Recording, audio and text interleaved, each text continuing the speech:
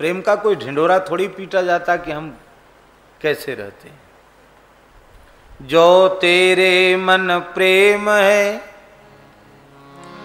जो तेरे मन प्रेम है तो कही कही का जनाब? अंतरयामी जानी है, अंतर्गत को भाव। तेरे हृदय के भाव को तेरे अंतर्यामी जानेंगे। सुमिरण ऐसा कीजिए। दूजा लखे न कोए, होठ न फरकत देखिए, प्रेम राखिए गोए। प्रेम प्रकाशित करने की चीज़ नहीं, प्रेम छिपाने की वस्तु है। श्री रूप गोस्वामी जी के संबंध में भी चर्चा आती है और श्री गदाधर भट्टी जी के संबंध में भी आती है। हमने गदाधर भट्टी जी के संबंध में सुना है। ये राधा वल्लभ जी के सामने हवेली वाले मदन मोहन जी हैं, वहाँ की घटना है।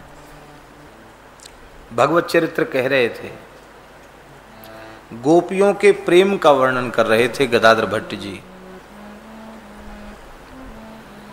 और उस काल की बात है, आज से साढ़े चार सौ, पाँच सौ साल पुरानी बात।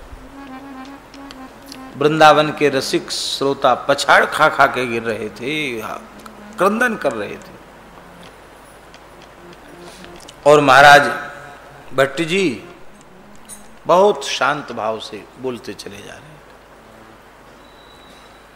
उसी समय श्री चैतन्य महाप्रभु के बाल्यकाल में ही कृपा प्राप्त कर लेने वाले आनंद वृंदावन चंपू जैसे दिव्य ग्रंथ के प्रणेता।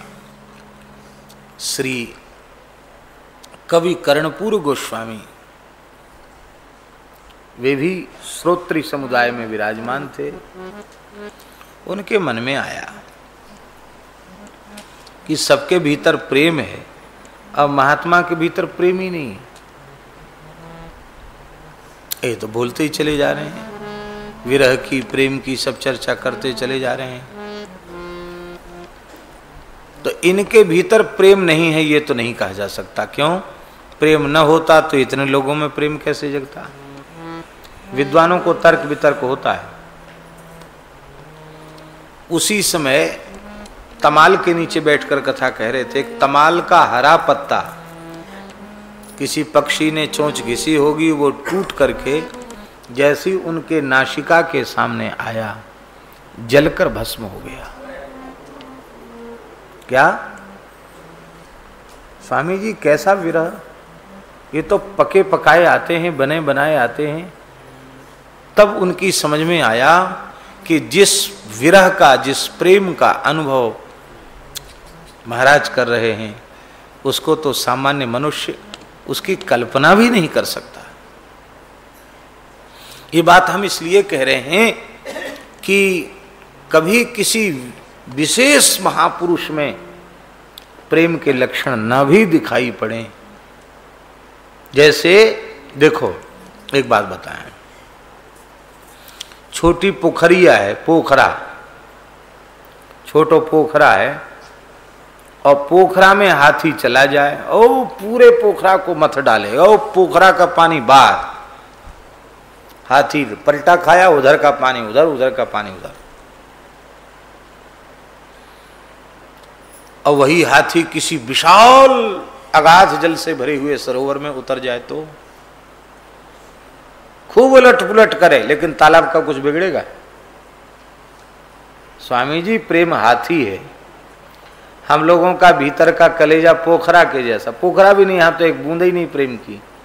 पर जो प्रेमी है उनका हृदय पोखरे जैसा है, ये प्रेम रूपी मदमाता हाथी घुसता उथल पुथल कर देता है। पर आचार्यों का हृदय जो होता है, वो प्रेम के अगाध सरोवर के जैसा होता है। प्रेम का हाथी कल्लोल करता रहता, लेकिन छलक कर कुछ भी बाहर आता। ये भी एक प्रेम की अवस्था है। ये वृंदावन वास की पद्धति है, और इस पद्धति से ब्रजवास करेगा। तो ही उसको वृंदावन का रस मिलेगा।